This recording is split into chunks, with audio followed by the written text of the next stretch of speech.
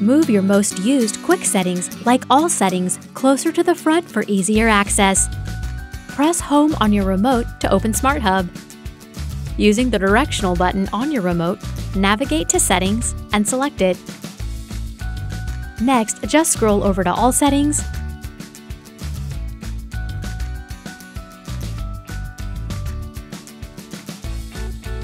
and press and hold the Select button.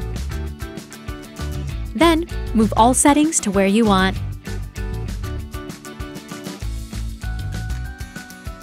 Press the Select button once more to set it in place. You can also move your quick settings around by selecting List Edit.